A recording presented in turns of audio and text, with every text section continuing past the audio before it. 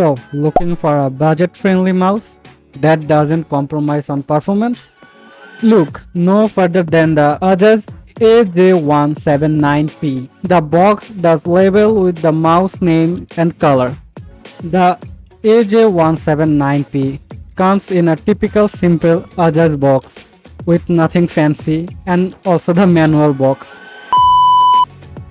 In inside, we find a user manual book and a basic OEM dock for charging the mouse.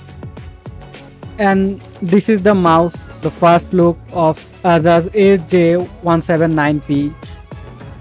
And we find what? A braided Type-C cable for connect the mouse to the PC.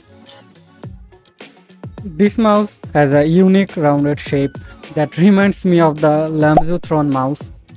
It's surprisingly comfortable to hold even with my medium-sized hands. The clicks feel satisfying and the side buttons are easy to reach. In the bottom, we found a chip for connecting the mouse to the PC wirelessly.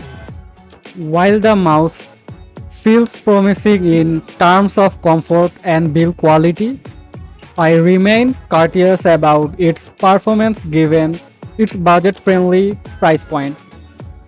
The true test will come in day-to-day -day use across various tasks and gaming scenarios.